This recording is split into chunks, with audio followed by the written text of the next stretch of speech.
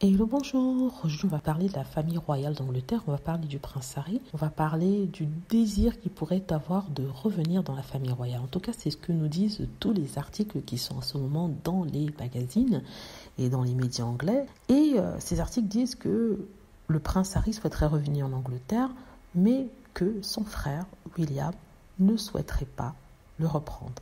Ben, ça me fait rigoler parce que le prince Harry était très clair. Durant une interview avec euh, Jonathan Bradby, on lui a demandé si il se revoyait travailler dans la famille royale.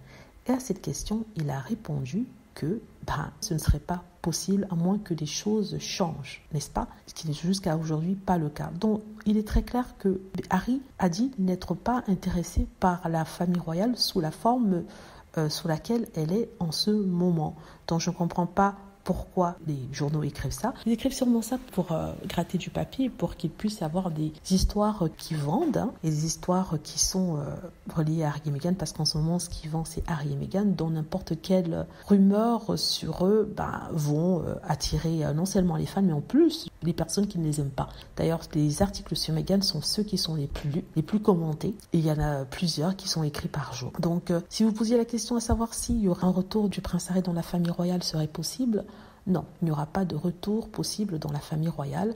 C'est non. Pas parce que euh, la famille royale ne veut pas, la question ne se pose même pas, c'est juste que le prince Harry ne se voit pas retourner dans la famille royale sous cette forme-ci après tous les sacrifices qu'il ait fait. Vous voyez ce que je veux dire, n'est-ce pas?